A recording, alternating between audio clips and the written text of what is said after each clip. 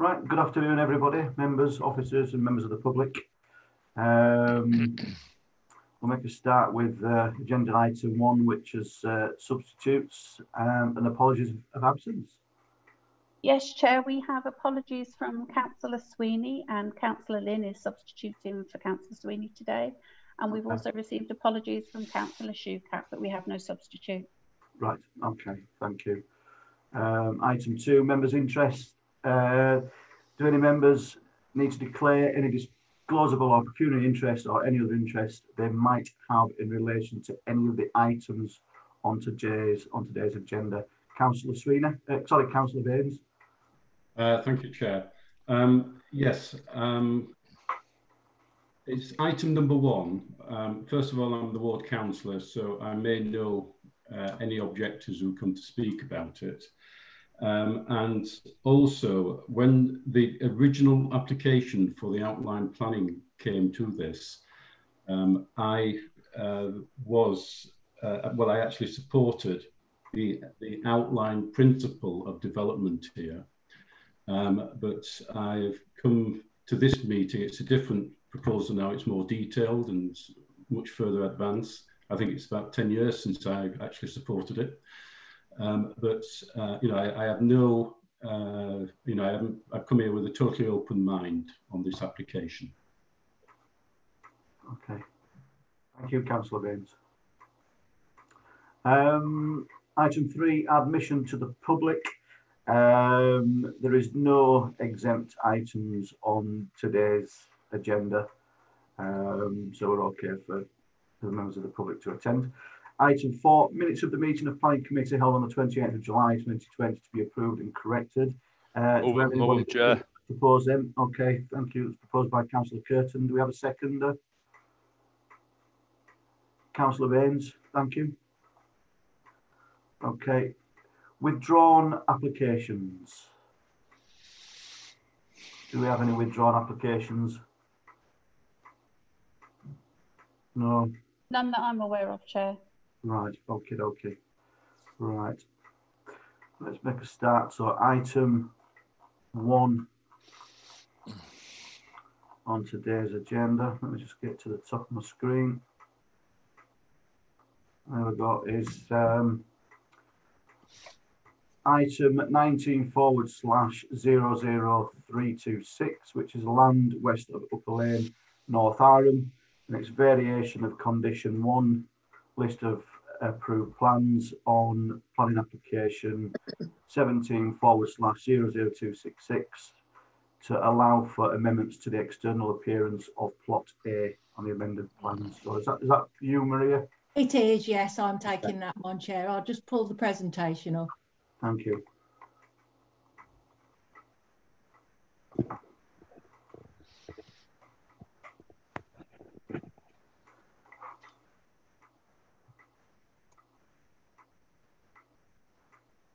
Can members all see that clearly? Yeah. We can. Aye, thank you.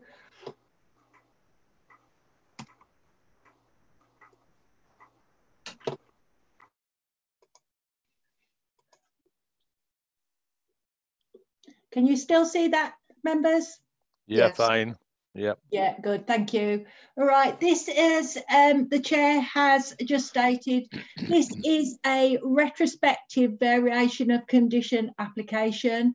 Um, the site previously had planning permission for two dwellings. Um, this variation condition relates to the plans list. Plot A has been uh, developed on the site, plot B hasn't, and plot A has some differences in terms of what was actually approved at reserve matters stage, and this application is to consider those differences. You will see that there are 12 letters, letters of objection and also one letter of representation from Councillor Taylor. Uh, key issues that we need to just, I'll just run through you before we look at the plans and the photographs. First two, principle and, of development and housing issues. Well, basically they've been set out through the approval of the uh, previous outline and reserve matters. So they still accord with those principles. The key matter for us to consider then with this application is the layout, design and materials. You'll see in your report on pages 10 and 12, there's quite a detailed description of what the changes would be, but just to summarise, there is a slight increase in um, in the floor space in terms of the floor plan, um, but there is actually no change in the height. It is the levels that have changed, which means the 0.2 metres are to do with the levels of the land. Um, in terms of, again, residential amenity, that is covered by the, um, in, in terms of all the distances, etc., that have been carefully measured within your officer's report. Sorry, I skimmed skipped impact on heritage assets. The conservation officer has been consulted and they are actually happy that in terms of the design with the larger windows, etc., it is actually a better design than previously approved. Highways were consulted again. Um, there is no difference in this application. There is still the condition um, about the um, widening of upper lane and sufficient car parking and manoeuvring space, which they're happy with. Flood and drainage, again, um, condition on the outline that's being discharged. Trees and landscaping details accepted. Um, wildlife and ecology, it is outside the wildlife cor corridor and bat alert area, but biodiversity enhancements are being conditioned um, and their details have now been supplied at cavity bat boxes, which our officers find to be acceptable. Just then to go through the, um, the photographs and the plans. This is the site that we're looking at that um, obviously some of you will have seen before through the previous applications on the site. This is an aerial photograph of that site. This is the new site plan. So you can see plot A is here to the south of the screen and this is plot B. We are looking at plot A today. Plot B hasn't been developed as yet. Um, and this is the approved, um, what you actually approved back in 2017, 2018. So again, the differences are to do with plot A. Here's the proposed elevations as built. You will see um, when I go on to the next slide, these are the larger windows that the conservation officers are much happier with now. And this was the uh, plans as proposed, as um, approved back on the previous application. Again, proposed floor plans as built and those that were approved on the previous application. Street scene as built. And again, street scene as approved on the uh, previous application. So that's just to give you a bit of context for the differences and, and hopefully help explain some of the measurements, etc., set out in the report. Some photographs for you. Um, front east elevation, as I say, this is a retrospective, so we can show you pictures of what's actually there. Um, north elevation, um, the elevation, uh, which again obviously shows you the location of plot B where the second dwelling is going to go. view from upper lane uh, showing the site of block plot B. View south of upper lane, which obviously shows you plot, um, plot A on the right hand side. The south elevation. The site you can see on the right hand side and you can see Village Farm on the opposite side of upper lane. That's Village Farm to the east. And then you've got Darcia House to the north of the site. And Darcia House and Wesleyan Fold, again to the north of the site. And, and councillors, that's the presentation, um, unless you've got any questions. Thank you. Thank you, Maria. If I can come back off the screen sharing, that would be great.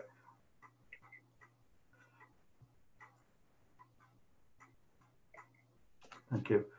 Okay. Members, any questions for uh, for officers? Councillor Lynn? Uh, do I take do I take it that this application um, for this retrospective application has no bearing um, on what is likely to happen for the second plot when if and when that is built? Mhm. So this is purely relating to the the the house which has already been built. So so there's no there's no proposal to change any of the conditions as they relate to plot B. That, that, that is correct, councillor. This is in relation to plot A and it is purely about the size and fenestration of plot A, nothing in relation to plot B. And as you quite rightly say, all conditions that cover the previous application that relate to plot B still stand. Councillor Baines, have you got a, a question? I'm just looking at the chat box. I've seen something from you. Well, it was more to do with um, I wasn't quick enough to get in when the screen first came up. Again, it is half the screen is covering it. You know, Ah. you you two slides, and it's very small, and it's difficult to see the intricate details on the plans as they show up. You know, it's about a quarter of the screen that you see. Um, so you know, it needs enlarging, as I said at the last meeting as well. We can have a, we can have a look at that, can't we, as we move on, as we progress? Have a look at that for the next one. Is there any more questions for, for officers? No, Yeah. okay, not yet. Councillor Clark? Thank you. Thank you, Chair. Um, when we say that the level, the height of the buildings themselves has not changed, but the levels have, is, is there no way that the levels could have been lower when it was being built?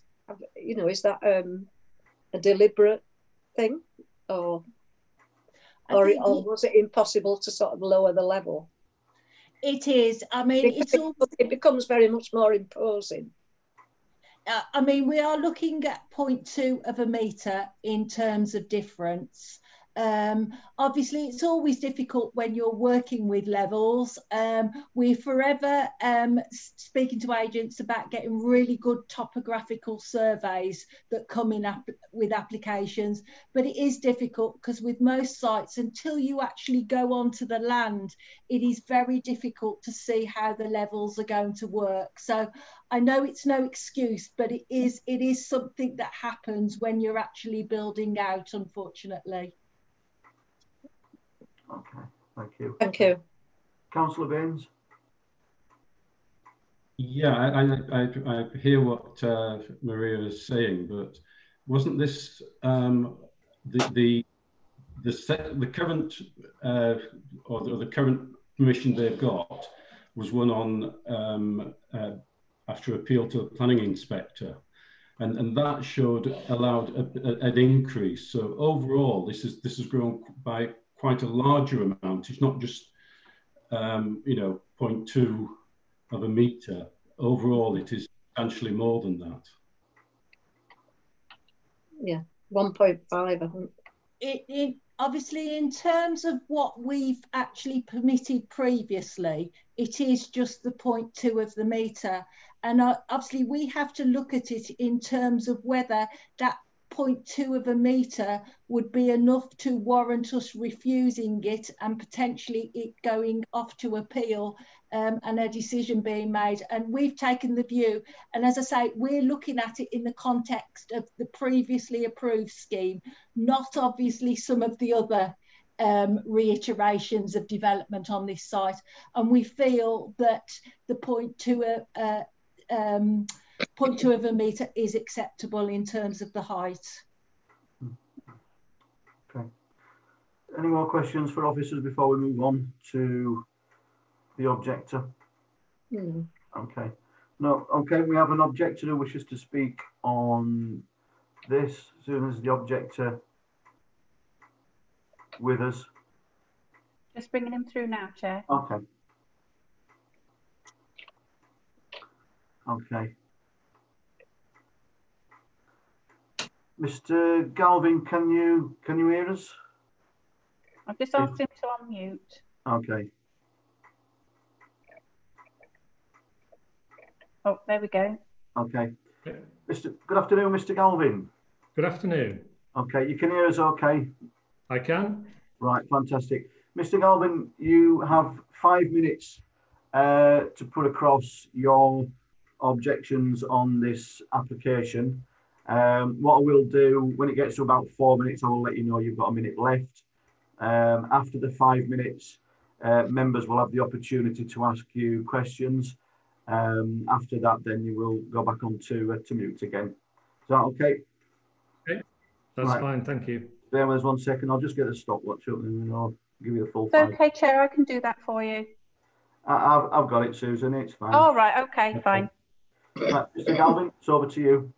Right, thank you. Um, there's a few points in the case officer's report I'd just like to pick up on. So going back to the beginning, I think the outline was 2013, um, and like like many others, I don't think any, any of us actually objected to the being building of a house or two houses on the site. It was um, as would be appropriate within a conservation area and uh, within planning policies. So I, I don't think I objected to, to, to the site being developed. I've, I've objected as to what the proposals have been, which going back through the relevant proposals have been a mixture of five bedroomed properties, the one in 14, five bedrooms with dormer windows and Velux windows withdrawn, one in 15, two and a half story proposition of five bedrooms, partly dormers, partly Velux windows, again refused for scale, mass and height and incongruous design. In 16, two and a half story proposal of five bedrooms uh, with dormers but no Velux windows, refused again. Proposed dwellings would be incongruous with existing dwellings in the vicinity because of their scale, mass and particularly height. 17 um, 00266 approved as a three bedroomed property of two stories with loft space, no dormers, no Velux windows, and the aluminium curtain walling, which would reduce, in my mind, some of the loss of privacy um, to Village Farm. When 17 was approved, the applicant then took the opportunity of appealing the 16.01215 application to the Secretary of State. Um, and I think it was on the basis that actually this is really too similar. 17, the one in 17 was only 10 centimetres lower um, than the one in 16, which was upheld on appeal. Um, Alison Partington's report refers to uh, a number of things, the one in particular being plot A would be located in close proximity to the road notwithstanding the fact the element of this house nearest to the road would not be as tall as the main part of the, the house, overall, the height and position of the houses would mean they would be unduly dominant and overbearing feature in the street scene. And if my understanding of what we've now got is a building that is 0.2 higher than approved, then it's 10 centimetres higher than the one um, upheld on appeal by the Secretary of State in 16. So, you know, I just want the committee to be aware of that.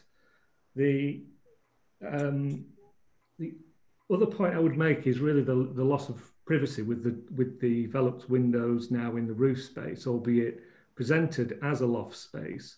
You can see from um, standing outside the property through the Velux window, it's already been subdivided into two rooms on that floor. So quite clearly where we are heading with this property is it is now a five bedroomed property um, on two and a half floors, which is what has been previously refused. And it just, you know, surely, albeit we might have tweaked a policy here and there, the fact of the matter is this is a five bedroom property or can be used as a five bedroomed house over two and a half stories. Uh, and my concern, actually, my other concern was about plot B, using this as a precedence, what would be then built on plot B, which is yet to be turned um, into a development site. Um, you know, using this as a precedent, then what, given it's a left, Mr. Galvin. yeah, what what on earth will we now get on plot B? But as I say, my main point is this just looks and feels like one or two of the previous refused applications as confirmed by the Secretary of State and Inspector Alison Partington. Okay. Finished, Chair. Right. Thank you, Mr. Galvin. Okay. Members, any questions for the for the objector? No. No questions. No, that's it. Thank you, Mr. Galvin. Really appreciate your time speaking on this. Thank you. Thank you. Okay, we have, I believe, Councillor Taylor. Chair, Councillor Taylor was due to speak as ward councillor, but he's not logged in for this meeting. I don't know if anyone has a statement from him at all. No, I've, I've had I've had nothing. Okay, we'll move on to the uh, the agent then for the applicant, Mr. Uh, Mr. Roger Lee. I'll just swap them over. I won't be a second. Okay.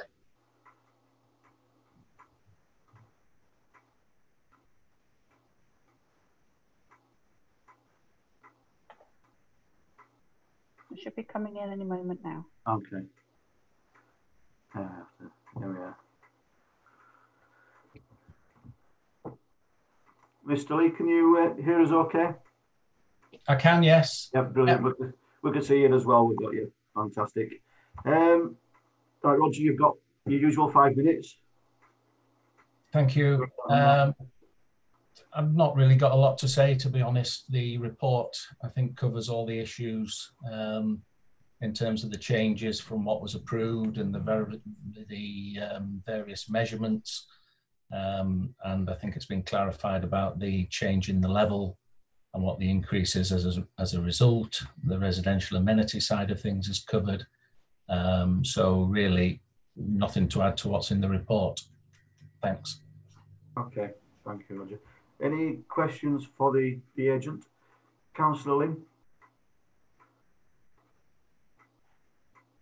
Um, yes, we've heard some concerns expressed about what is likely to happen to plot B, given that plot A has been subject to um, alterations, which are now having to, we're now being requested to retrospectively approve. Um, I mean, we've just heard, we heard earlier on from the officer that the expectation is that the second house, when built, will abide by the conditions that pertained the, to the previous approval. Is that is is there any reason why we should doubt that that would be the case? Thank you. Uh, no, I don't think so. No, I mean, I've, I've no reason to say anything different to that. I mean, all I, you know, the reality is I get brought in when there's planning applications to submit, and this is just for plot A. So plot B is not being built yet. It is what it is. Um, I am not aware of any intentions to change what's approved on there. Okay, Marcus? Yeah, I'd just like to say, just just remind the members that, the, the, the, in a sense, the intentions of the developer is not really planning consideration for you at this stage. You, you, you've got to sort of make a decision on the on the the, the papers before you. Mm -hmm. What he does with plot B, it'll come before you again, and you can make your determination then. So just I was just to remind members of that. Yeah. Okay. Any more? Yeah, fully agree with that. Yeah. Any more questions for the agent? Okay. No. Right. Thank you, Roger. Appreciate that. I don't know if um, Councillor Taylor's come in yet or not. If not, we'll have to we'll have to move on. I've just had a message regarding Councillor Taylor. Um, he isn't joining the meeting this afternoon, but he did actually make a statement which was part of the, the paperwork that was received by members anyway. So he has actually expressed his views on this application. Right. Okay. Is the statement going to be read out? It's part of it's part of the pack that was circulated. I don't know if Maria can read that out for us. Okay. Councillor Lynn's trying to get your attention as well, Chair. Sorry. Is this uh, just checking? Is this in relation? Has he uh, made additional comments since the report was put together? No, he said there was nothing further to add. It was just from his comments that have been submitted. So I think it um, just to read those out. Yeah, thank you. Yeah, um, Ward Councillor Roger Taylor has made the following comments. I have trawled through the objections and I get the issue that this is a retrospective application for work not in line with the original plans accepted, which have already been carried out. My other observation is the application is dated the 15th of March 2019, which means my requesting a call into planning committee is out of the timescale. If not, then I would request that should permit the recommendation that the objectors be given a chance to say their piece. Okay, right. Okay, obviously we can't ask Councillor Taylor any questions, so we'll move forward to uh, any comments and proposals, members? There's no comments. Any proposals on the application?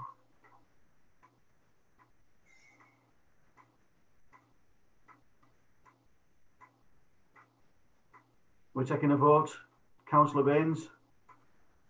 Um, yeah, it's I still have, uh, I do have some concerns about the height of, of, of, this building. It is substantially more than the original thing, and it's each time it goes. And uh, I mean, Mr. Mr. Galvin's major concern is privacy over his things, and I, I know in the conditions we've we've stated that the Velux windows in the roof spaces, um, which are informed are going to be used for storage areas cannot be opened at all um, should they later be turned into living accommodation, as Mr. Galvin referred to, with it becoming a five bedroom property. Is that, are these conditions really enforceable so that it can't do that in the future? You know, because usually, you know, I, I do tend to find that when, when something is dubious is accepted, um, it, it, becomes uh, something that we can't really enforce later on as a condition.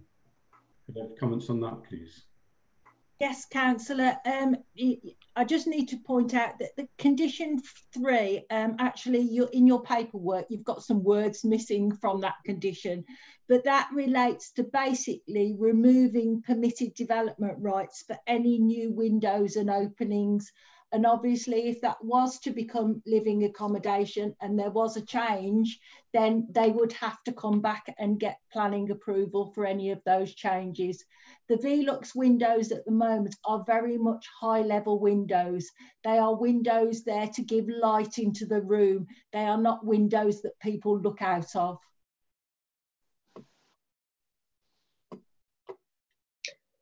Okay. You okay with that, Councillor Baines? Yeah, okay. Councillor Clark? Thank you, Chair.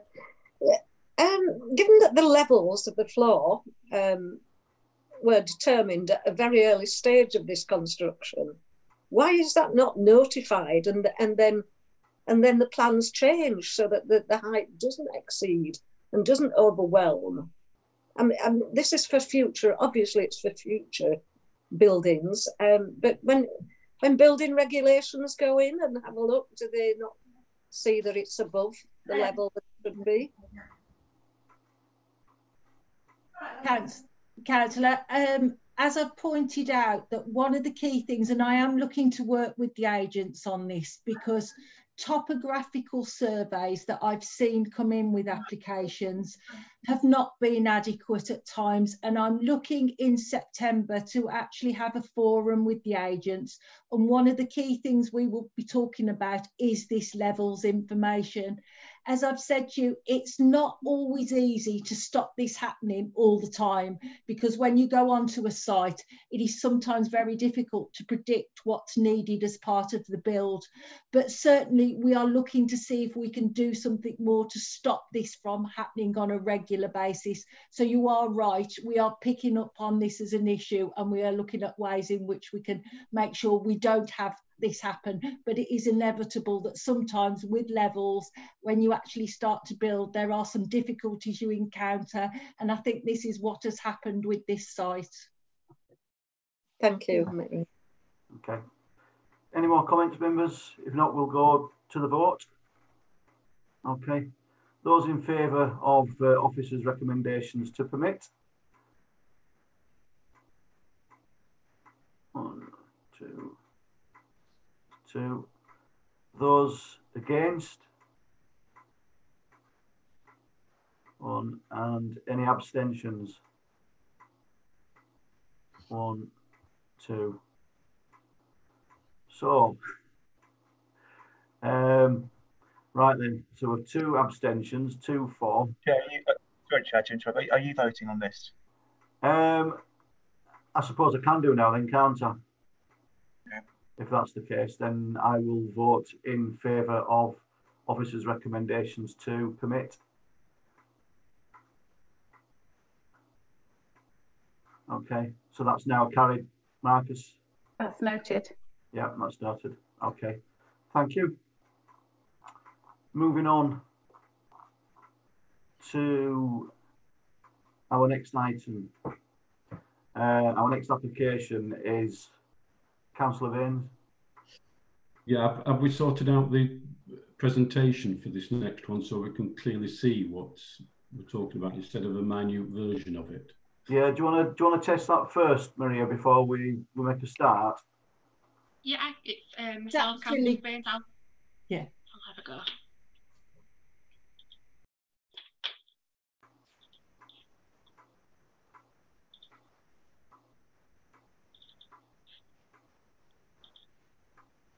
Right, okay, okay. Might as well, yeah, that's fine. Might as well leave that on, to be quite honest, rather than coming back. So this next application is 20 forward slash 00053. It's the Tower House Hotel, Master Lane, Halifax, and it's a change of use uh, of hotel with function room and restaurant to five four bedroom dwellings and four three bedroom dwellings involving partial demolition and new build. Is this yours again, Maria? This is mine, Chair. Okay, all right, Claire.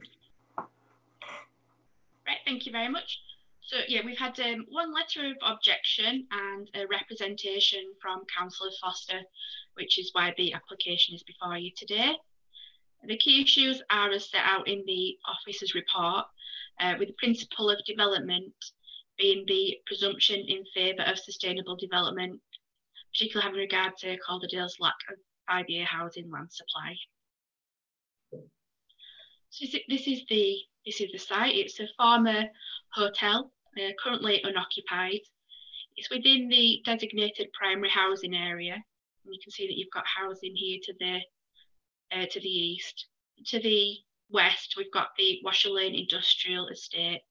Environmental Health have considered this application, and uh, a noise impact assessment has been submitted and it's determined that there would be no adverse impact upon the amenity of residents. This is the, you can see the um, access coming down into the into the site here from Master Lane. Uh, This is an existing access point, uh, and there are no changes proposed to it. Is the aerial photo from 2009. So you can see the outline of the, the building and the existing car park and the tree boundary there on the um, southern boundary. Just provided this slide, there was there was some comment about Master Lane not being wide enough for two vehicles to pass. Uh, from my measurement, just from the aerial photos, I've got 5.2 meters uh, width here. 4.8 meters is sufficient for two vehicles to pass. So um, highways could uh, comment on that if, if necessary, but I believe that two vehicles could pass down Master Lane. You have got this pinch point, which is also mentioned in the officer's report. So there is, uh, but this is within the site, and uh, you'll see from later photos that there is some visibility, so you would see a car approaching. So there is, uh, in, in my opinion, there is opportunity for cars to wait, for other cars to exit. This is the existing floor plan. I've just indicated in uh, red here in this dashed line, this is the area of the building that is to be demolished. And the proposal is to retain the uh, previous hotel, the hotel rooms, um, and these would be converted into the three bedroom dwellings. And this is just looking at the existing elevations, again indicating the area of building to be demolished. Building is quite attractive, but um, its its loss is, um, in the officer's opinion, it wouldn't have a detrimental impact on the amenity of the area. So this is the proposed site plan. So, so we've got the existing access here coming down into the site. It's a sloping access point. Some camera measures here. We come down to a, a turning head. Highways have advised that this road wouldn't be uh, wouldn't be adopted. And then for each unit, so you've got two parking spaces on the drive. For these this terraced style dwelling here, you've got two parking spaces for unit four. Unit three has parking on the opposite side. Units two and one have one space each outside the property and then a space next next to them. There are only nine dwellings. Um, this is a, a fairly low density, but it's the site is is constrained um, and the agent considers that no, no further dwellings could be accommodated on this site. There's a tree retained there in the centre and being accommodated into the parking. We've got trees retained on this south boundary here. And this is just a close-up of the parking um, spaces for units one and two. So there is space for cars to manoeuvre into those, into that area. These are the um, proposed ground floor plans. We've just got the standard um, living arrangements, living, kitchen, dining room. The gardens for units one to four are at a higher level because the land does slope down, slope away to the south. But you can see here they've got steps up to this raised garden area. In some cases, the gardens are not they're not substantial, but it's considered to be an adequate space for the for the residents. You can see uh, this is the first floor plan. You can see the three bedroom, three bedrooms proposed for what units one to four, and then the four bedrooms for the detached unit five. This is the um, ground floor plan for unit six to nine. This is four bedrooms, Uh, these are the elevations, cottage style dwelling and converting the existing building. This is uh, unit five, which is a new dwelling, but has retained a sort of traditional appearance. The wall in uh, material is natural stone and artificial stone proposed for the roof. This is a, a unit six to nine. Again, a, a smaller dwelling, but a traditional style appearance. Where you've got some large projections and you've got the dormers to the rear, um, but these wouldn't be have an impact on the street scene. There are trees to be felled within the site, but these are uh, mainly conifers and not of uh, high amenity value, and the tree officer has, has considered the proposal and, and raises no objections. There's an arboricultural method statement and a condition that the development shall be carried out in accordance with that to protect the trees that are to remain. This is a photograph looking up Master Lane, so you can see the width there. And looking down towards the site, so we've got the access into the site here, and this is access to Sapling Dell. And Master Lane continues up, up there. So this is quite a wide area, and there are some concerns about visibility um, risk, but uh, it's not considered to be so detrimental uh, that the adverse impact would outweigh the benefits of providing much needed housing. To the north of the site, there's a, a, car park for some adjacent dwellings, and there's an access to the industrial estate, but that's gated and it was locked when I visit, visited the site. And that's just looking across to the industrial estate. From the uh, from within the industrial estate, you can see the west boundary. So this this is all to be demolished. But this uh, retaining wall be will be retained and uh, the new a new dwelling constructed around this area. So looking at the existing hotel, I've taken these photos from um, Google Street View, I'm afraid, so you, that's why there are cars there, even though it's in, in use at the moment. So you can see the original building with the later extension that is to be retained uh, and converted into dwellings. Looking to the east, we've got Sapling Dell, there's no issues here with overlooking. Into the south boundary, you can see the, these trees that are to be removed. So not, not considered to be of high amenity value. And then looking up the access drive within the site, so you can see you've got this pinch point here, but you can see through up to Master Lane so you can see vehicles approaching. The highway officer has um, provided some further comments on the on the application, some um, some further conditions.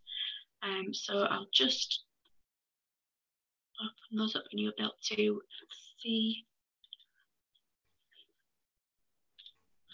there. So they're asking for a condition requiring the parking and manoeuvring facilities to be provided, prior to occupation, uh, requiring secure cycle parking, details of the construction specification, specification for the access roads, contractors, compound and staff car parking area, and a scheme for the prevention of mud or other material being deposited onto the public highway.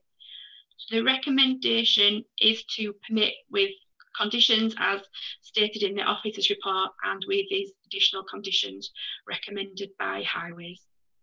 Thank you. Okay. Thank you. Okay. Members, any uh, questions? Somebody's got a question. I can hear them. Questions for officers. Councillor Baines, then Councillor Hutchinson.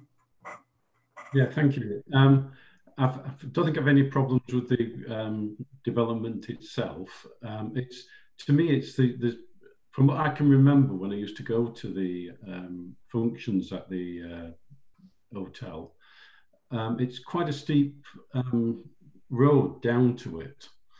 Um, and if it's not going to be adopted, I think a, a, problem is going to be is how is that going to be uh, gritted in winter periods, and is that going to be a danger to the to the people down there?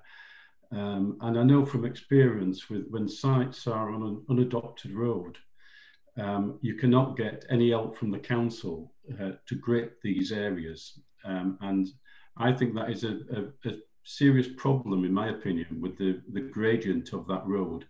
Uh, and it could actually lead to, to accidents on it. I'd like the highways opinion, uh, highways officer's opinion on that, please. Yes. Well, good afternoon, councillors. Uh, hopefully you can hear me okay. I'm sorry I'm not We did. Unfortunately, you've gone off, Dean. We've lost you, Dean, unfortunately. Not listen. Hello, sorry, can you hear me? Because my screen just froze then. Yeah, we can hear you again now. Okay, yeah, sorry about that. Yeah. So with regards to the gradient, uh, all, although it's excessive, um, we would only ask for one in ten uh, or, or, higher, and it's a uh, We've lost, you again, sorry. It's a, uh, oh, I'm really sorry. It's such a bad signal where I live. Um, I'll start again. The, the actual gradient is going to be less than one in 10. Um, we, we can't really give, give regard to the winter maintenance of a road that we aren't going to adopt.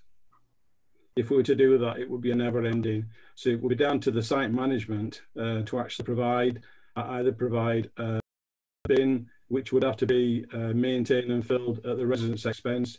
Um, if we were to give due regard to, um, to, to such developments, it would be an undue burden on the council financially. Okay. Councillor Baines, you want to come back in on that? Councillor Baines. Yeah, could could could that be incorporated into a condition then, um, if, at, at the very least? Not too sure, council, that that could be um, that would be um, regarded as a as a valid condition, and I would have to um, speak to Claire with regards to that. Um, I've certainly not put in place any conditions like that previously in my limited time with the authority, and I wouldn't think it would, it, or it would be very, very difficult for us to uh, to enforce. Would that only be determined if the place was actually managed? Is that the case? Will this area be managed? It, Chair, um, there is um, there's no proposal within the application to uh, manage the access or the highway, but and and that would really be down to residents. I mean, there are. Um, I think one thing in, in imposing a condition, uh, it has to it has to be something that is would go against you know planning policy and a condition a condition is necessary to to overcome that issue. And the gradient is, uh, as the highway officer said, is, is, is acceptable. Uh, and I know that um, Councillor Baines' concerns about about the ice, but I think as with as with many developments, it's ultimately is down to the resident to make sure that they're uh, you know that they are safe uh, and that they um, keep their their roads gritted. The applicant has had the opportunity to you know go away and revise the scheme and and bring it up to an adoptable standard. Uh, they don't feel that they're able to do that. Um, and you know residents would have to be cognizant of that um, potential purchasers would have to be cognizant of that when they're purchasing the property but I think ultimately is um, yeah it would be the residents responsibility. Hmm. okay. Maria did you want to come in at this on that it was only really to support what Claire was saying. Um, when the road's not on, uh, not adopted, it is usual practice in many cases that the residents club together to basically, um, obviously, it's in their interest to make sure they're safe, their vehicles are safe. So it's usually the residents that club together, and and and you do see uh, some of the salt bins you do see around are are actually bins that residents have have uh, put in themselves. Yeah, yeah, I see that regular around here. Um, yeah. Councillor Hutchinson. Um, just further to that, for my own education, is it possible to insist on a long-term stewardship arrangement for sites like this um, as part of planning, or does it come in somewhere else? Because the idea of nine sets of residents all coming to a joint agreement about something can be slightly fanciful at times. Mm -hmm. I don't think this is something that we can determine at today's meeting, but it's something that would obviously need further investigation into. Right. But, but uh, Maria, if you want, to, I don't know if you want to come back on that or Claire.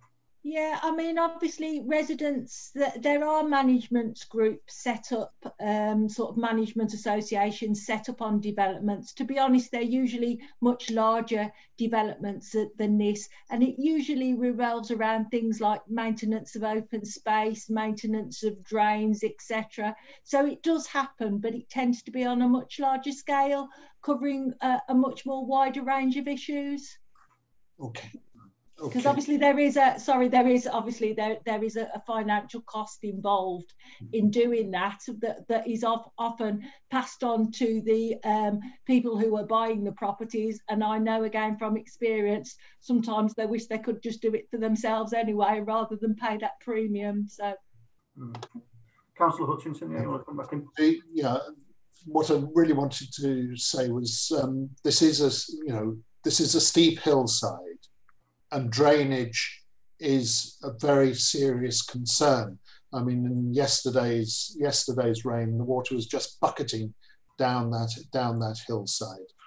The um, drain, the report from the uh, Lead Flood Association was actually quite extensive on the planning portal, and there's only been an excerpt put into the docu the the uh, report for this meeting, but there was the comment that whenever new shared sewers are uh, required, that Yorkshire Water needs to be involved and should should be specifically invited to make a representation. And I can't find any such representation. Um, and you know, they there really will be a need for an effective, sustainable drainage urban drainage system um, for this for this site if it's not going to have an impact further on on land further down in the valley. And so I, I, would like to know a little bit more about the involvement of Yorkshire Water and the uh, conditions that can be applied to take into account the flood authority's comments.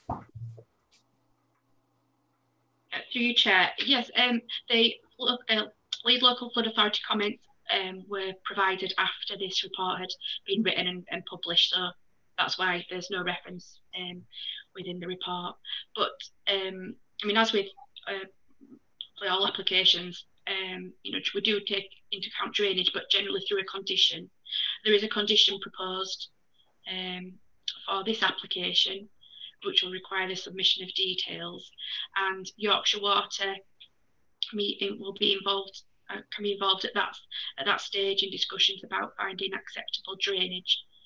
I mean, if, if um, they can't come up with an acceptable scheme, the condition doesn't allow them to um, move forward with the development. Mm, okay. Councillor Okay, that sounds reasonable. Sounds reasonable. But anyone who's driven around that area will know how very narrow the roads are around there, particularly as there's a significant number of parked cars.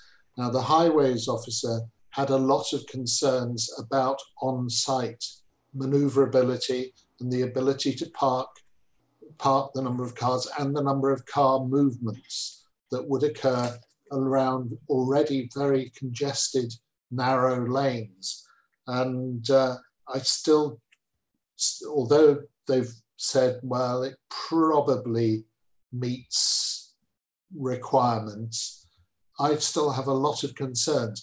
We've not been able to get a view of the site itself because there's locked very high gates. So, you know, I, I'm relying on the photographs, but the on-site move, movements of vehicles do give me considerable concern. I don't know if there's something for, sorry, Claire. On, Yeah, so through you, I mean, yeah, it's, it isn't an ideal situation, and yes, highways have raised concerns, but these movements are at least restrained with, within the site, and you do find, um, you know, that people will find their way around that. Uh, you know, they get used to their own their own developments, and they will, and they, you know, as much as we try to um, condition things and put plans in place, people will do what best suits them. And they will find you know find out this that sort of balance. Um, and as I say at least it's constrained within the site so it's not having an adverse effect out on the open highway um, and affecting people um, outside the site. Uh, and, and, on, and, with regards to this uh, the matter of balance um, there is we do have to look at the, the presumption in favour of sustainable development so in considering um, in considering the harm, so the issues raised by highways, we do have to consider whether that adverse impact does significantly and demonstrably outweigh the benefits of providing housing which there is a need for in Calderdale. Thank you, Chair. Thank you. Councillor Curtin. Yeah, thank you, Chair.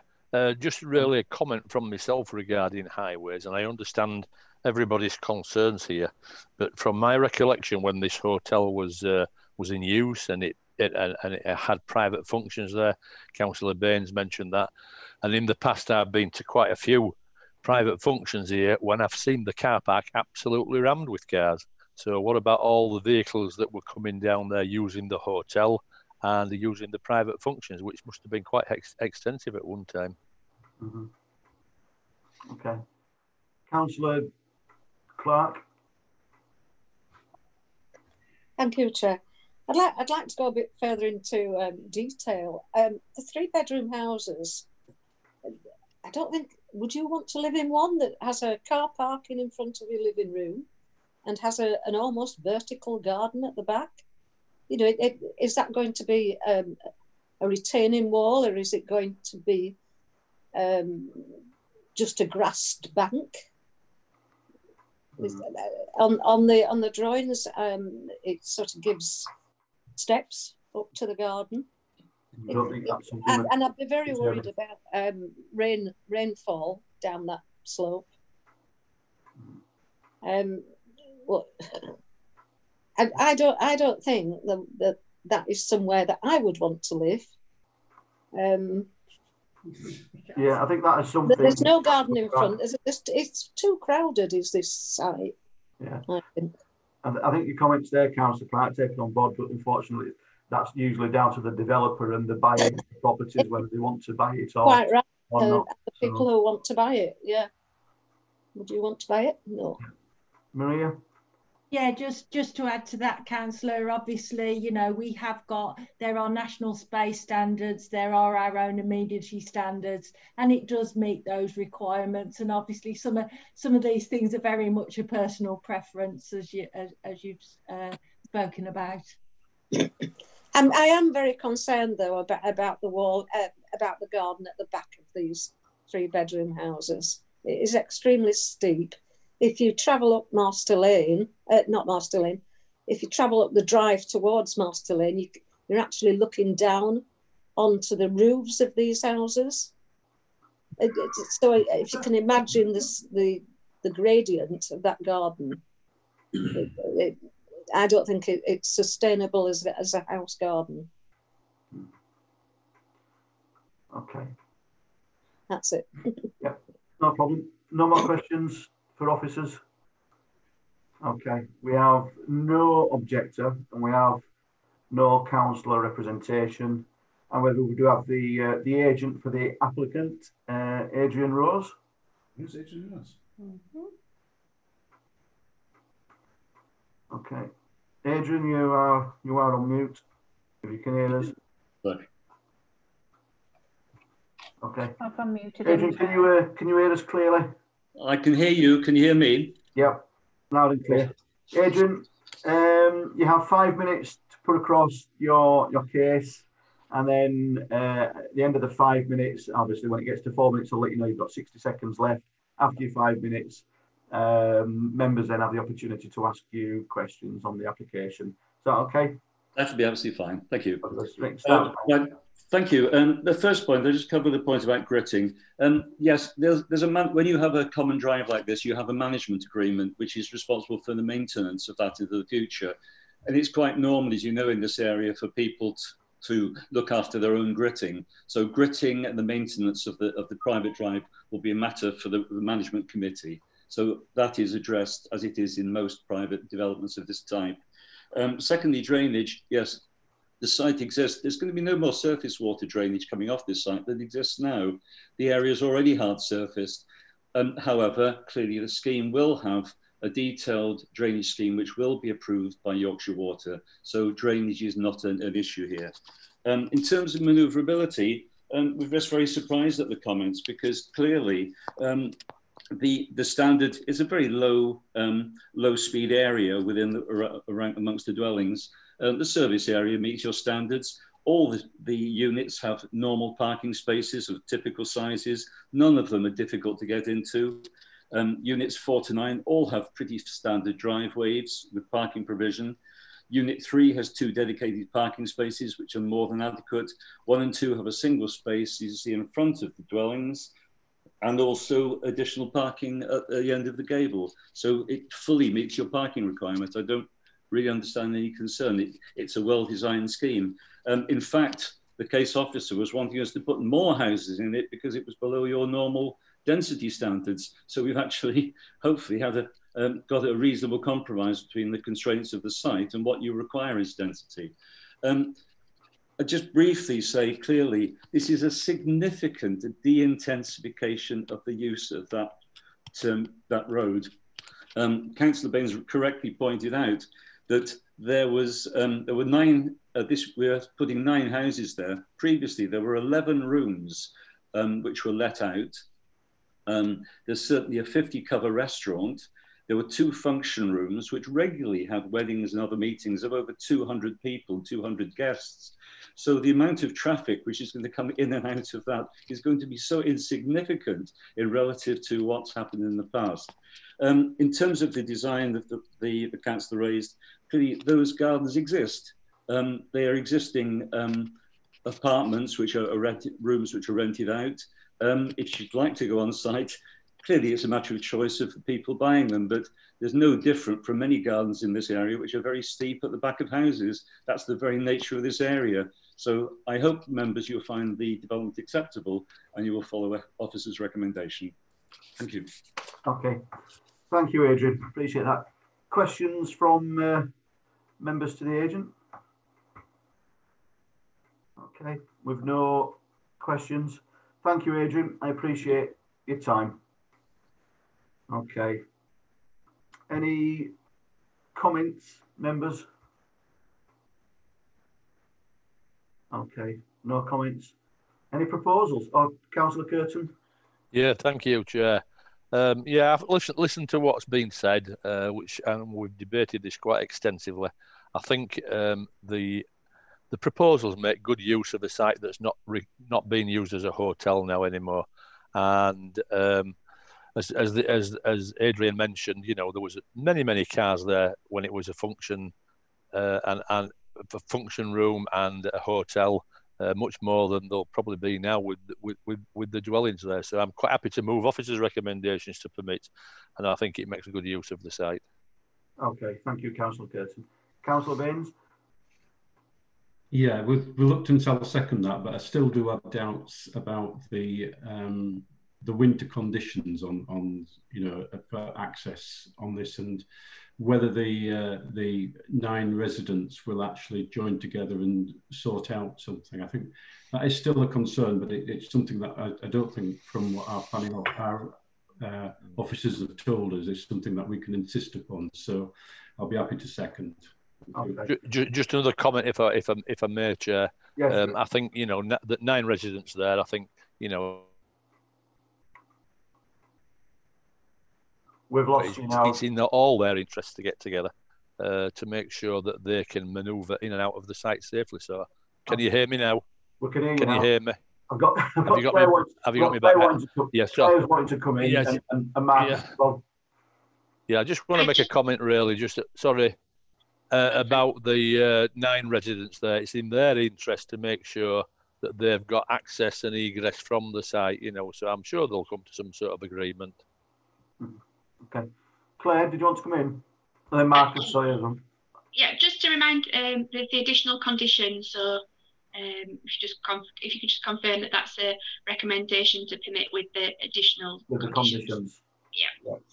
So is that with the conditions, Councillor Curtin? Uh, yes, it is, Chair. Yeah. I'm quite happy with that. Yeah, yeah. Okay, Councillor Curtin. Marcus? Yeah, I just wonder. It's really just.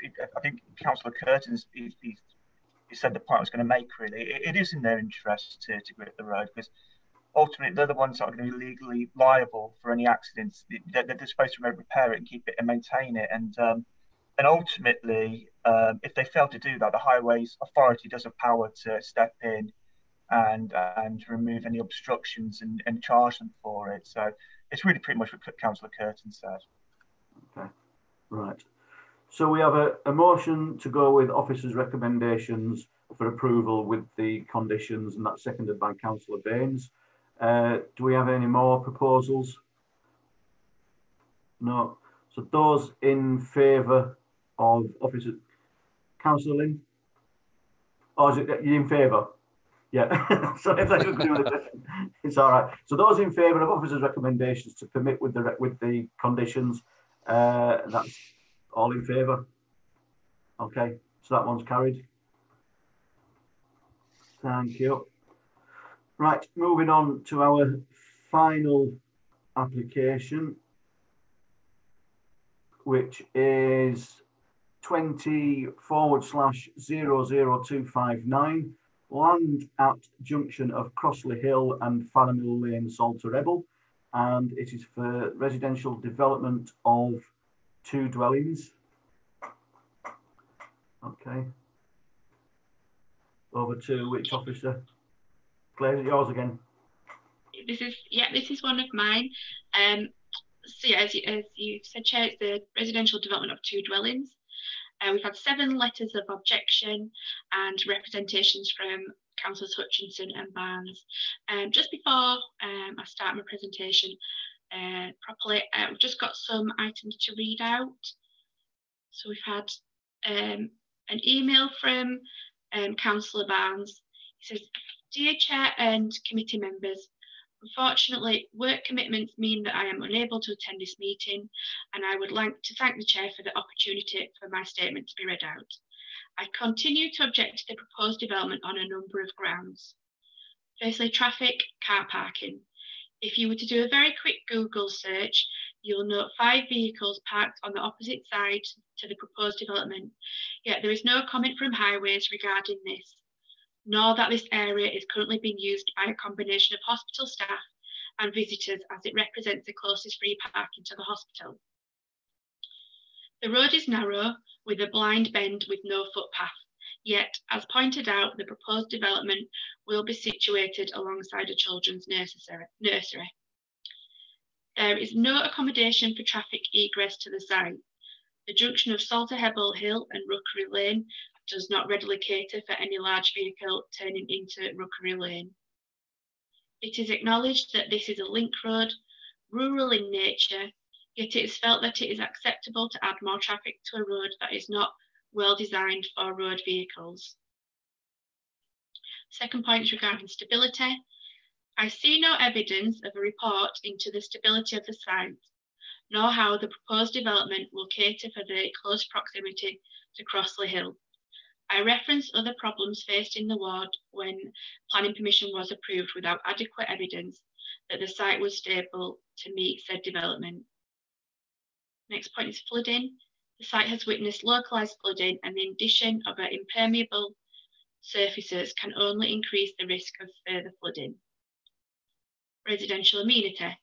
I believe that the planning comments are incorrect in that the gable end of 9 Mill, Millside Way is not blank and that the development will overlook other properties, compromising privacy for current residents.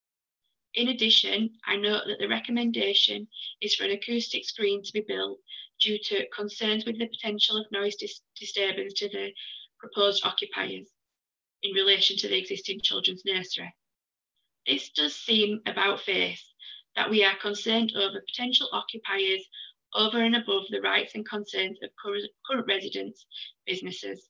The current remote owners of the property have failed to maintain this parcel of land, resulting in the unkempt nature of the site, but it has rather perversely resulted in the site becoming a veritable haven for wildlife. I've only listed some of my concerns on this development and would ask that committee members reject the current proposal until these issues concerns have been adequately answered dealt with by the developers. That's from um, Councillor Barnes. We've also had some additional comments from uh, uh, members of the public, which we've also agreed to um, read out to you. Maria might come in, uh, in on this just after I've read out this section. There was some issue with regards to neighbour notifications. So I'll just read out the comments. Principle of development I fail to see how it has not been recognised that the considerable adverse impacts of this development, made very clearly in the director's letters, are not outweighed by the benefits. The only benefit appears to be that a property developer from outside the area makes a killing on a plot of land that was sold to him for a pittance by Calderdale Council at the expense of long-standing council tax-paying Calderdale residents. Although development apparently is allowed on this greenfield space, the site is totally inappropriate for housing. The officer describes the site as overgrown and unkempt. This is because the present owner has failed to maintain the site to the previous level of maintenance by Calderdale Council. It is, however, still an important part of the wildlife corridor and teeming with bird life habitats which will be destroyed.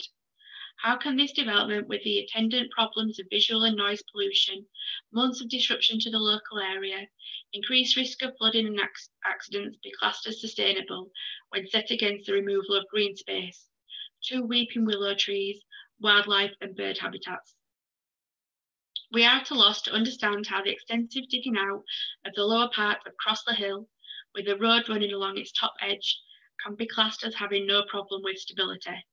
We also cannot understand why a very clear legal right of way from Crossley Hill to the day nursery does not appear to have been mentioned at all by the planning officer. This cuts through the proposed development. With regards to residential amenity, the west elevation of Nine Millside Way is not blank as stated. One of the proposed residences will overlook the kitchen area on this elevation. All the back garden and front garden will be overlooked by the first floor of the two proposed residences, leading to a total lack of privacy for the residents. Highway considerations. Even before any new development, the present road footpath arrangement does not provide for the safe and efficient movement of pedestrians, vehicles and cyclists and this has already been brought to the attention of the Highways Department. This new development will only exacerbate the problems. The number of vehicles generated by the two residences is not really the issue. However, if they park on the road, it becomes almost impassable. The cars will also have to pull out onto a road on a blind bend into speeding rat run traffic. It will be an accident waiting to happen. Even to a layman, it is obvious that the sight lines will be compromised for traffic coming down Crossley Hill and joining Mill Lane. It is difficult enough even now to see the traffic. Flooding and draining. After heavy rain, localised flooding already takes place on Mill Lane and encroaches into the gardens of the adjacent houses. The increase of impermeable surfaces that will come with this development cannot fail to increase surface runoff. Um, wildlife conservation. If a cost benefit survey had taken place, weighing up the loss of the natural environment and natural habitats against squeezing two detached houses onto a totally inappropriate site, what do the councillors feel would have been the outcome? In conclusion, despite the fact that this proposal appears to conform, albeit sometimes tenuously, to the myriad of revamped planning policies, we feel that not enough thought has been given to the unique local geography of the proposed site. Is a, it is a difficult sloping site in an area with already existing traffic problems and will be extremely difficult to develop. Excavation of the site will inevitably lead to the closure of sections of Mill Lane and Crossley Hill adjoining the site.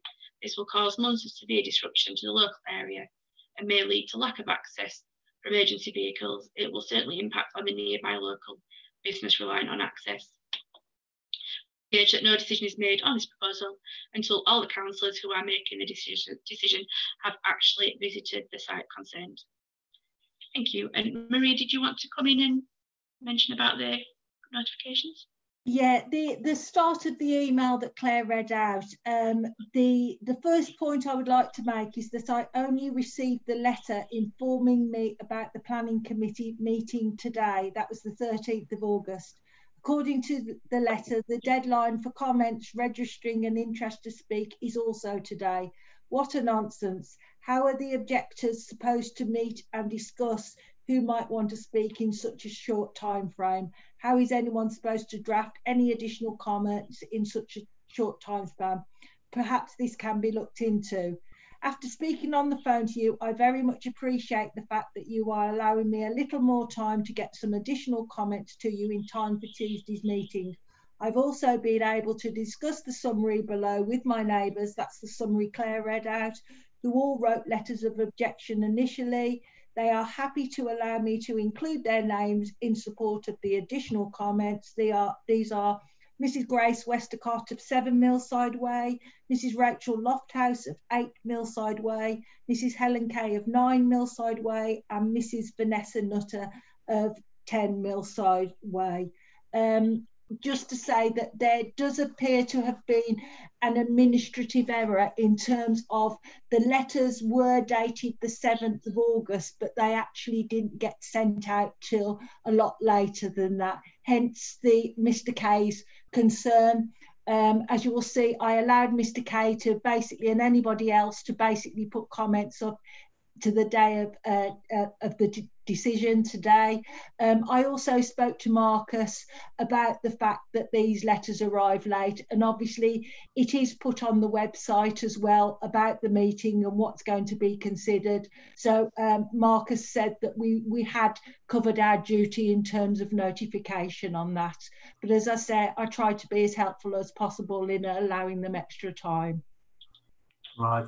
Marcus, have you any any comments? Yeah, yeah, like Maria, yeah. Maria, Maria did have a chat, and um, obviously, it's something we don't want to get into. And there's, there's, there's something happened there. We need to look into it so it doesn't happen again. But no prejudice is caused. You know, by Maria kindly allowing him extra time, he was able to speak to his neighbours and get the representations across, and they've been read out now. So, yeah, we just need to look at our practices behind the scenes so we'll make sure those notifications get out. But as I say, the, the, it's on the website anyway. You know, it, it's not something which is hidden from them, and right. it's uh, yeah.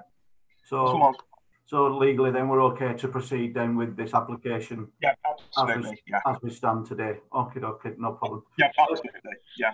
Councillor Hutchinson, I've, I've noticed you've obviously put um, your request for it to come to committee which will obviously mean you have a, an interest in this particular item.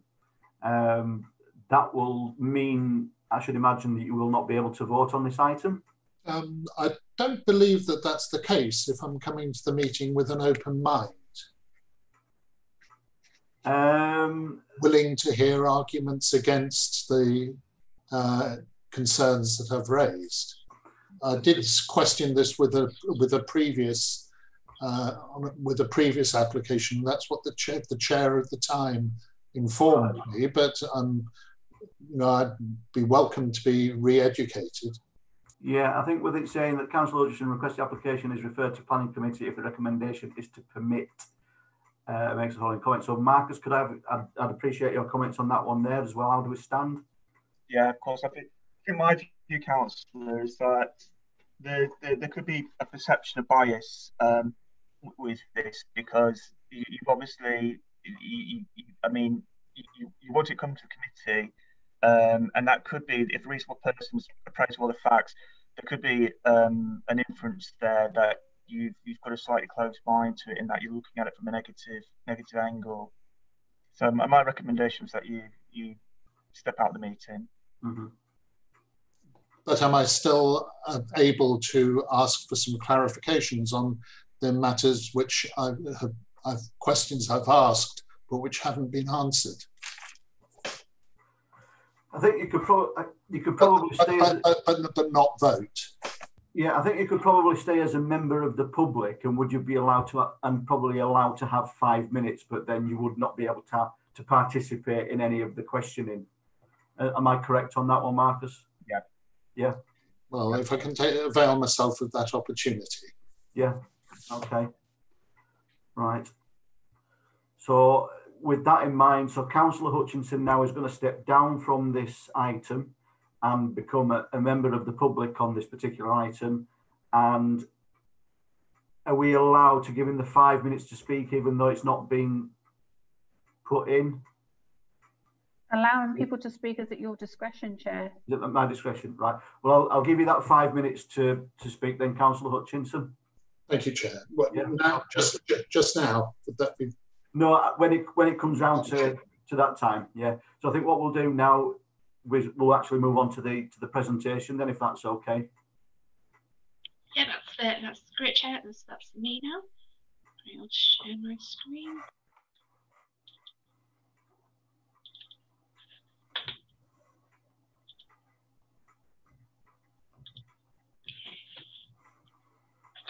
So um, yeah, so as I previously mentioned, we've had representations from the public and ward councillors.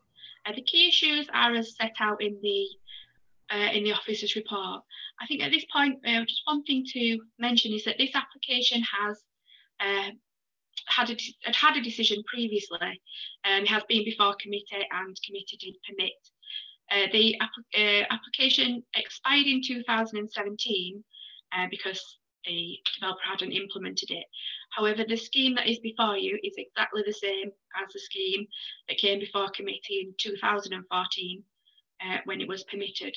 So uh, I'm aware that there are issues uh, that uh, raised concerns for uh, the public and councillors. But if uh, we were to go with a different recommendation, I think um, my advice would be that we would have to have um, a very a very good reason, and I think it might be difficult to um, uphold that appeal, given that there hasn't really been a change in policy. There hasn't been a change in the in the council's unitary development plan, or really in national policy that um, in the office in officers' opinion would um, change the decision you know as, as previously being made and in fact the housing land supply has decreased and there is as i previously mentioned the presumption in favour of sustainable development so this is the um, application site it is on a junction with crossley hill and farrer mill lane and it's previously undeveloped at the moment. Uh, as you can see from this aerial photo, uh, there are two trees uh, and it's covered in vegetation. This road is coming from Salter Salterhebble. You can see from the aerial photographs here, and also some mention about parking on the on the side of the road. You can't really see, there's no obvious parking along the road here. And I know when I visited my site, visited the site yesterday, there was no obvious evidence of parking um, outside the site. In fact, I was able to park here and vehicles were able to pass. So this is the existing site plan. And the proposal is to construct two detached dwellings this, we've got number nine Millside Way. I'll show you the photographs. I know there was some um, comments about windows overlooking, but you've got about 12 metres um, distance here, but you'll see from the photos that if there are any windows, they are hidden by a, fence on the boundary. So it's considered that the immediate um, space about dwellings would uh, be in accordance with the UDP uh, policy. So this is looking at the proposed ground floor. So you can see in more detail here that you've got the you've got a two-car um, garage and space here to pull off off the highway, and again two-car garage here and a, a, small drive at the front with space to, to pull off the highway. The gardens are raised um, in accordance with the um, topography site, and you can see there's actually a spiral staircase here to get up to the upper level. There was a mention about the acoustic barrier which environmental health have, have requested and this would go on the on the boundary here. Um, just going back to the aerial photos, uh, with regards to the point about the um, a right of way, there isn't a, a, def a definitive public footpath um, and it's not really clear on this plan actually where there may be a right of way, but I think I think they said it's coming from Crossley Hill across to the nursery.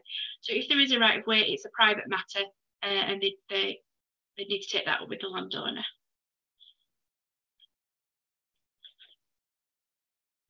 This is looking at the the elevation on Farrer Mill Lane.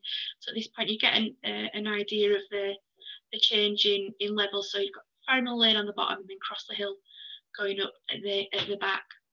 So you can see it's changing changing gradient. The proposal is to uh, dig out to create space for the for the dwelling, but you would still have areas of raised land, which would help in uh, maintaining the stability of the site. It's not all being completely excavated. So there would be a, a higher, you know, land here that would abut the nursery. With regards to stability, although a survey hasn't been submitted, and this isn't identified as uh, potentially unstable land.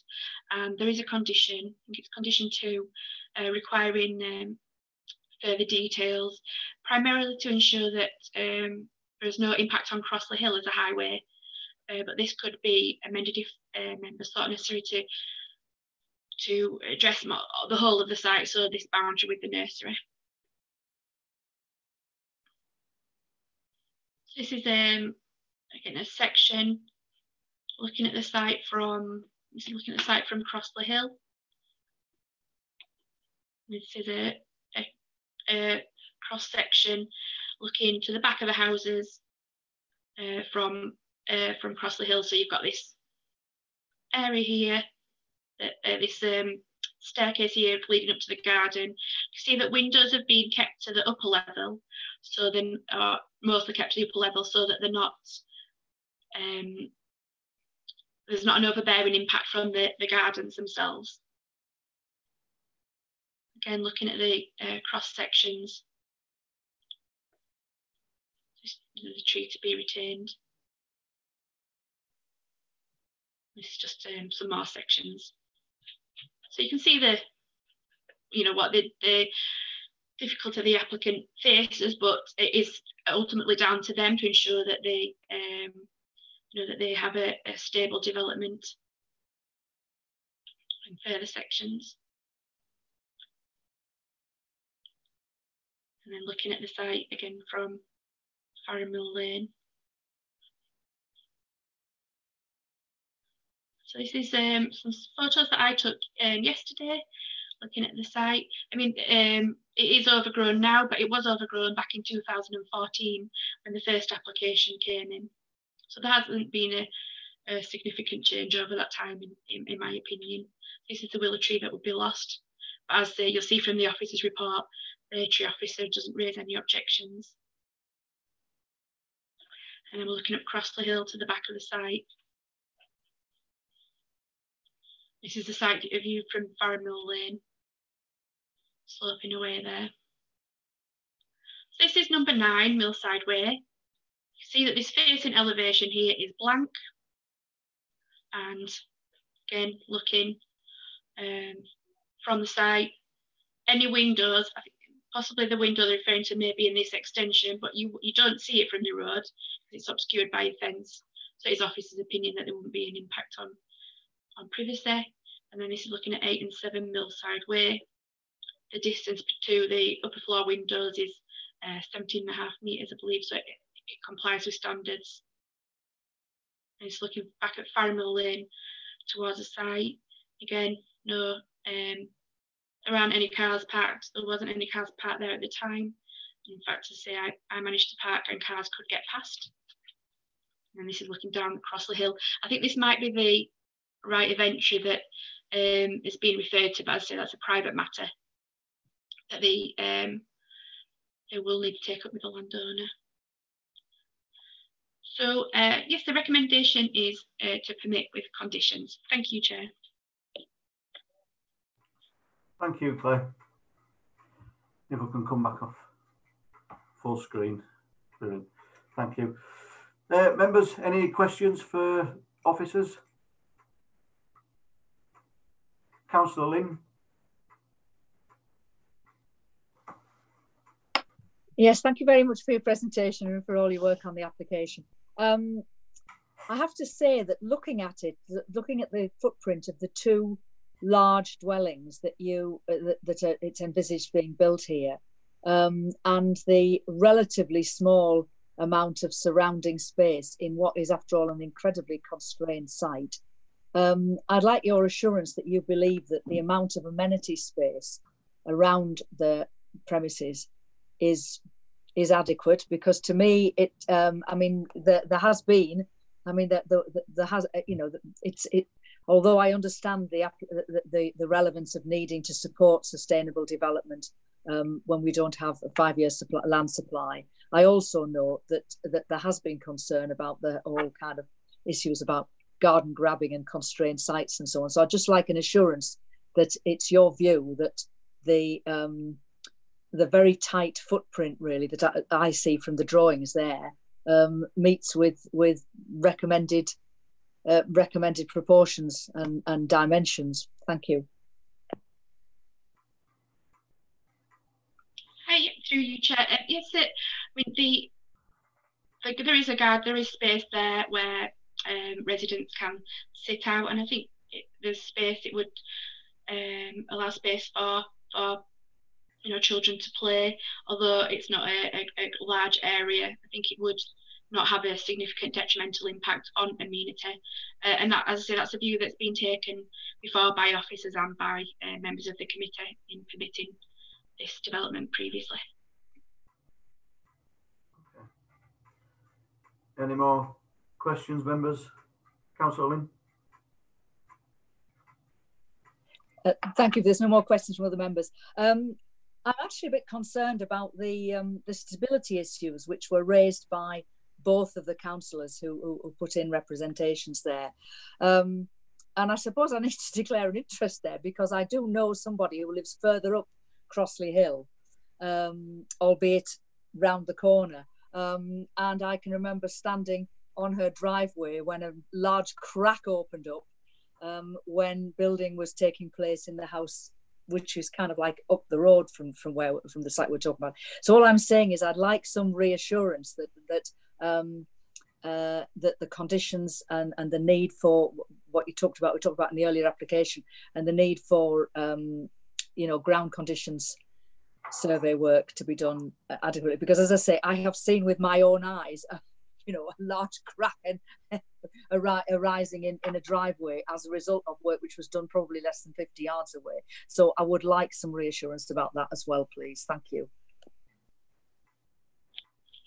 Yeah, um, again through your chair. Um, yeah, condition two, it does require that before development begins, um, there's a report prepared by an appropriately qualified competent person. Uh, and this is to demonstrate demonstrate measures to safeguard the structural stability of the retaining wall front, fronting Crossley Hill. So I'd say that was mainly to do with um, ensuring that the highway is um, adequately protected uh, uh, this condition could be amended to the to the overall site if uh, if members thought it was necessary. But yeah, there are safeguards there to uh, ensure that stability is considered um, by the applicant and measures are put in place. Any more questions, members? Councillor Clark.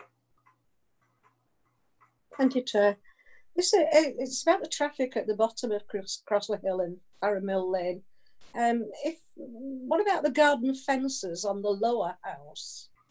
Would that not obstruct obstruct a view as you're trying to turn? If you're coming down Crossley Hill, it'd be quite dangerous. I would think it's it, it's a junction of two or three roads.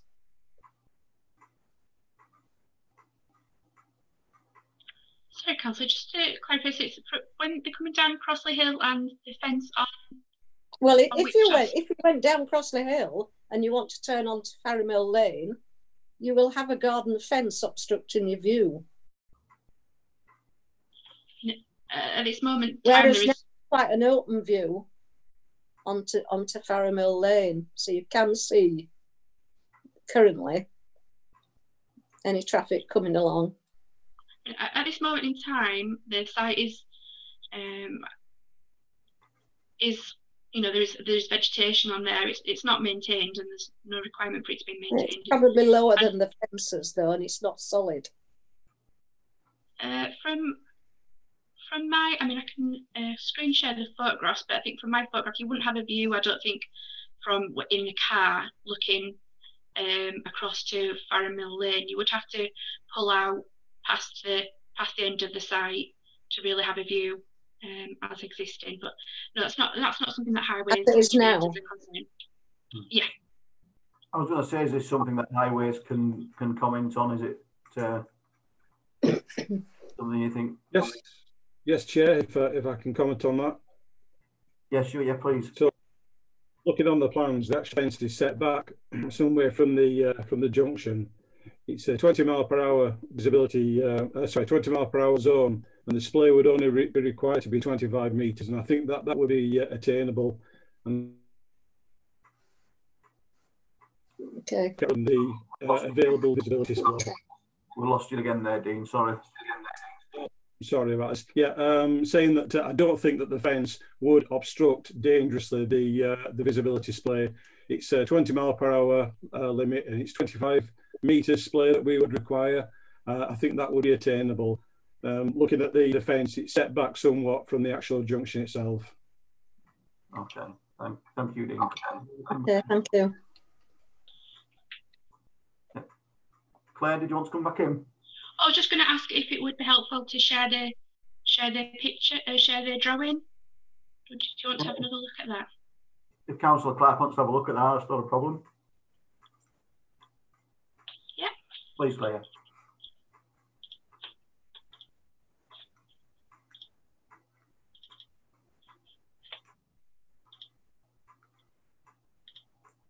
Yes, there you go. So the highway officer has uh, commented that the fence is, is set back from this from this junction point here.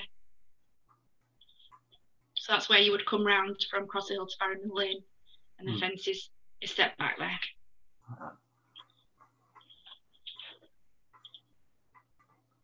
Okay, Thanks. thank you.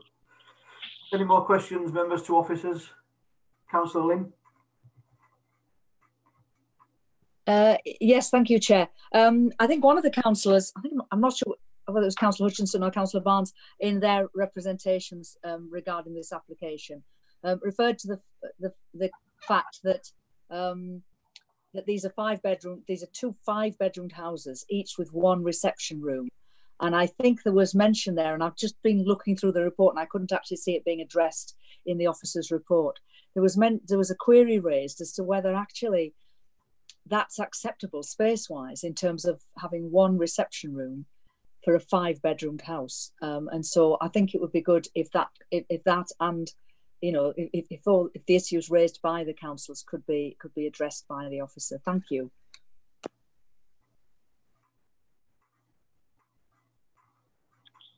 Uh, yeah, there is no no limit, no um, policy with regards to how many reception rooms you would have to the number of bedrooms. So there's no policy issue there. Uh, it's not unusual.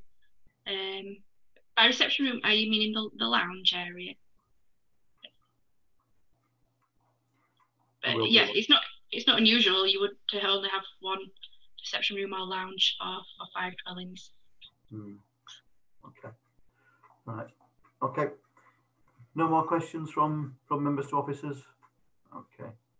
Objectors. Do we have any objectors? No. So we'll move on to councillors. So councillor Hutchinson, um, you've got the usual five minutes. Just bear with us one second. Okay, councillor Hutchinson, you've got five minutes to speak on this. Thank you, Chair. Um, most of the matters I've uh, mentioned have been uh, mentioned so far, but uh, I would like to reiterate the lack of a geological engineering report to accompany this application. Um, there was one in the, another, there was one that featured in uh, another case that was considered by this committee this afternoon, but there isn't one here.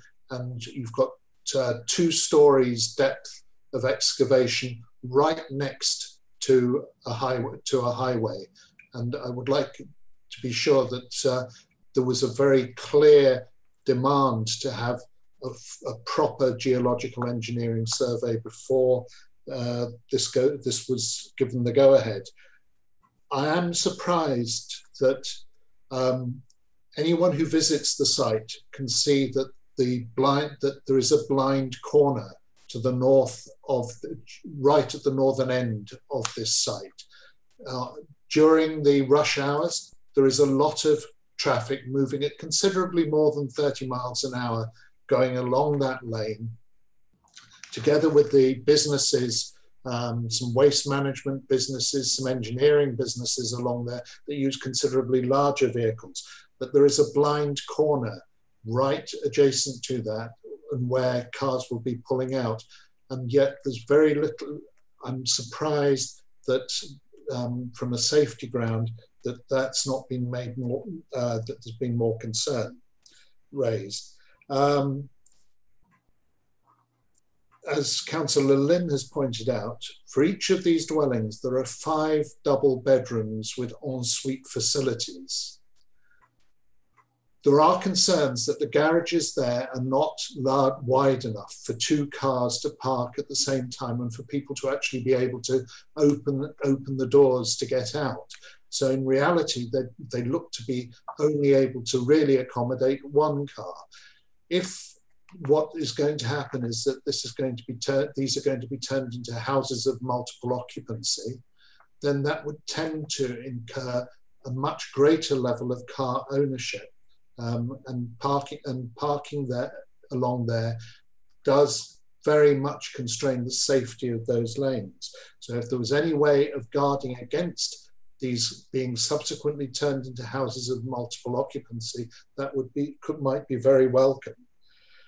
The gardens on the other side of the road may not be visible from the from the road level, but from the from the bedroom windows of these new of these proposed developments, they will be clearly visible, and there will be a distinct loss of privacy to the to those existing uh, those existing houses. Is there any way of, of, of, mitigating that by a requirement for obscure glazing? Um, there will be a much greater, a, a very great loss of um, surface for water to permeate through the surface here. At the moment, it looks as if its uh, surface water drainage is relied on through water butts and a permeable surface. Runoff affecting the properties the other side of the road is a very definite concern. You've seen a very nice picture of the willow tree that is due to be due to be lost in this development. Um, even though it might not impress the tree officer of the council, it does look, it does add a lot to the to the uh, beauty amenity of that area. And the final, my final concern is that this is an extremely narrow uh, lane that is heavily used at certain times of the day, and that the extent of the uh, earth moving works and the constrained nature of the site means it's inevitable that there'll be considerable disruption to the traffic, both from the businesses and for the people who are using it as a, as a, as a, as a bypass. This has, um, to me, this seems to be very, uh, the idea of sustainable development does not really seem to hold here. Thank you, Chair. Okay, thank you, Councillor. Okay, any questions for, for Councillor Hutchinson? Okay, that's a no. Okay, thank you, Councillor Hutchinson. Um, so we have an applicant, sorry, the agent, I think, just bear with us, my email's gone off. Chair, we have no agent for this application. It was just Councillor Barnes' statement to be read out, which I believe has already been done. Right, okay. Right, fantastic. So we can move on then to uh, any comments, members? Any comments and proposals? Maria? Sorry, I, obviously I just need to reiterate that there was a previous approval on this site for the exactly the same scheme and I just sort of need to make that clear because we'd have to, if we were now looking to refuse we'd have to assess what is materially different. And as Claire has already alluded to a lot of the policies we work within are exactly the same now. So I just wanted to make that point before you started your discussion Chair. Thank you. Um, Councillor Baines.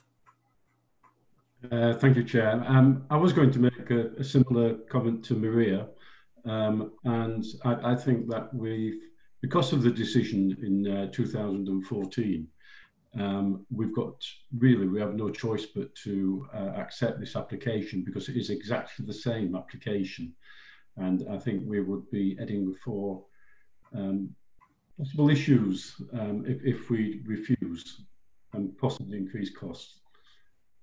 Okay. Officer's recommendation. Sorry, thank you. Sorry, Councillor Sorry, I was interrupting them. Sorry. No, I just move officer's recommendations. Councillor Clark. And then Councillor Thank you again, Chair.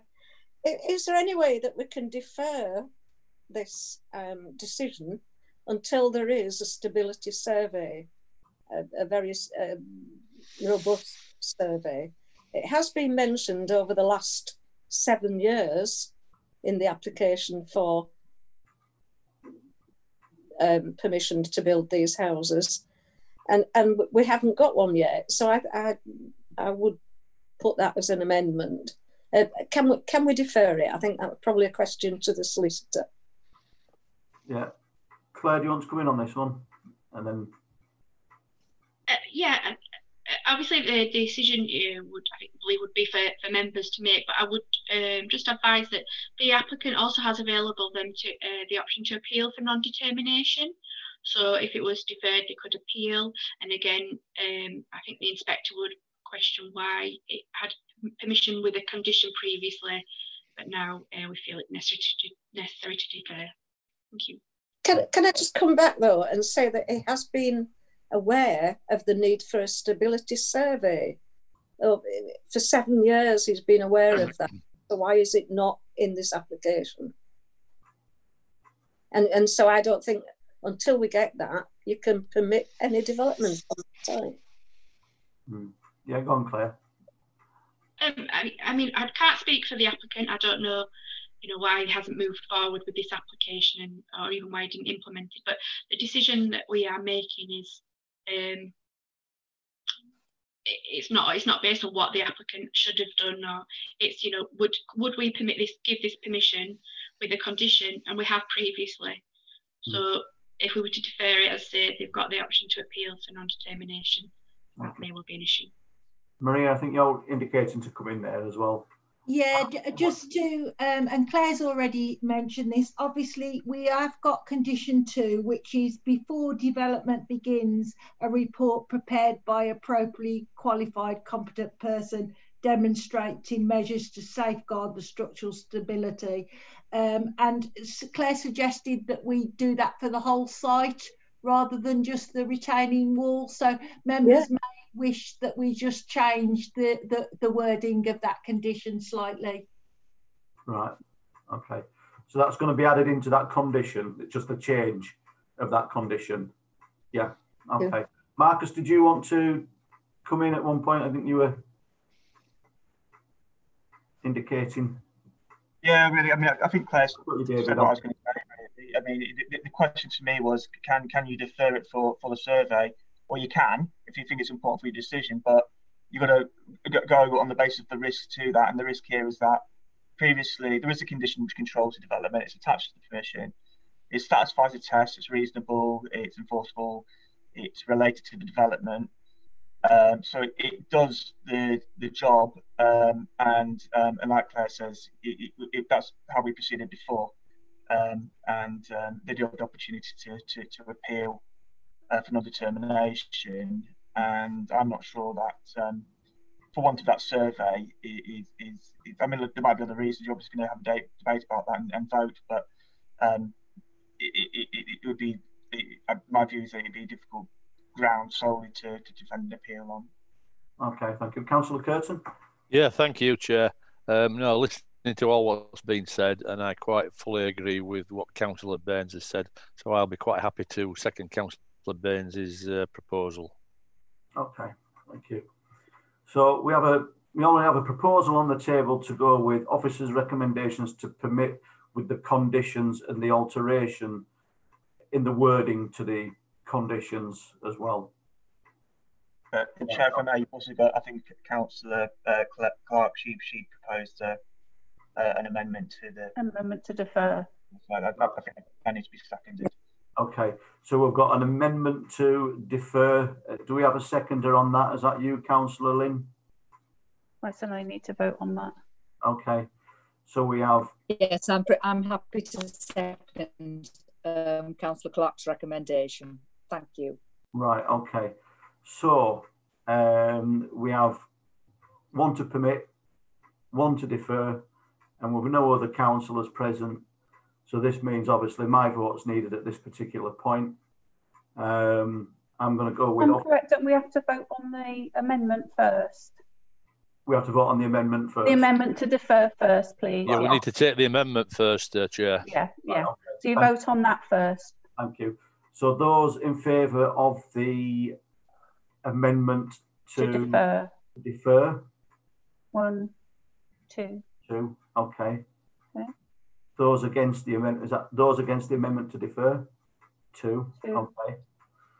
So now we'll go back to the original proposal yeah. of the officer's recommendations to permit. Uh, sorry, um, Chad. It, it, isn't that um, isn't there a draw two two? It is, it is, yeah. It is, yeah. The chair has a casting vote, am I correct? Unless chair wants to use his casting vote. Yeah. And the chair, the chair will use the casting vote on this. And I think really because this has already been here in 2014 and past, I'm, I'm happy with what's been put in front of us today uh, with the uh, the conditions as well. So I'm going to go with officers Yeah, recommendation. but chair, chair, if I may come in there, that, that, that last that last vote there for the amendment was two two. So you know, are you saying that you're you're putting your vote in against or for Oh, it? sorry, yeah. So my, my vote's against the Deferring. deferring. Yeah. Right. Okay. Sorry, I'm new to sitting in the chair role and planning. Now we go back But to now we need to go to the substantive back. Now we motion then. the substantive motion, which is the original um, condition of accepting officers' recommendations to permit. So But is that not also with an amended? it's with, is, yes. it's yeah. with the amended conditions, isn't it? Yeah. It is, yes. Yeah. With amended conditions. Okay. So that's Councillor Baines, Councillor Curtin, and I also. Hang on, can we take a vote on it, chair? Yes, can we vote on that? Those those in favour, One, two, right? three. chair, where do you, And I, I'm, you sit on this one? I'm in favour of this. Yeah. Sorry. So Can't see your hand, clear Chair. Then, then we've got three, three in favour of the substantive motion to permit with the existing conditions plus Yes. a change in condition two. Yes. Is Yes. that correct? That's Is that correct. okay, Marcus? Yeah. Okay. Right, okay. And those against? Two, okay. So that's, that's carried to go with officers' recommendations to permit. Yep, Yes.